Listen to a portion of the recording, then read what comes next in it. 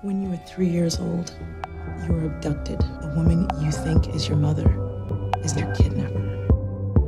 Oh no, did I get too close? Oh, did I almost see what's really on the inside?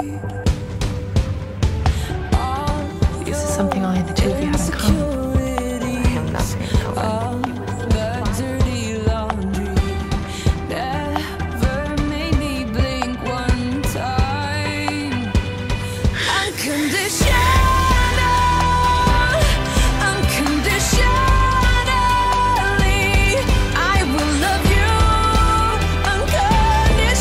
Oh, I'm sorry. Totally my fault.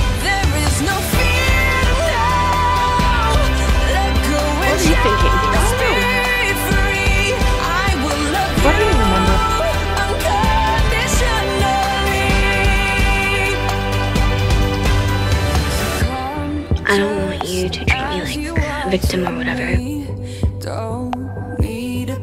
think that I'm in love with him. Come on.